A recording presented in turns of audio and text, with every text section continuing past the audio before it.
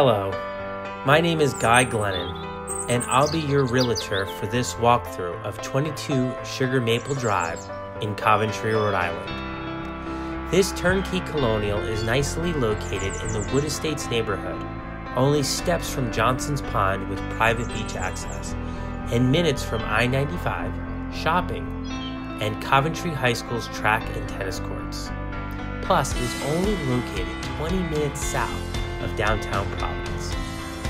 The sellers of this exceptionally maintained home are the original owners from when it was built in 1992. The layout of the home is exceptionally spacious and drenched with natural light from its southerly exposure. The home has just over 2,400 square feet of living space on the main and second level, with four bedrooms and two full baths on the second floor and a half bath on the first floor. The kitchen has newer stainless steel appliances, granite countertops, and a tile backsplash. The solid wood cabinets have decorative top molding, newer hardware, and under cabinet lighting. The eating kitchen opens to an oversized family room with vaulted ceilings and a stunning fireplace. The home also enjoys an oversized dining room and front living room, perfect for large family gatherings. The kitchen has ceramic tile floors, and the rest of the first floor and the master bedroom on the second floor have beautiful hardwoods.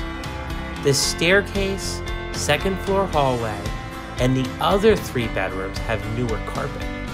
The master bedroom has an ensuite bathroom and an extra large walk in closet. Mechanically, the home is serviced by city water, natural gas, and a four bedroom septic system.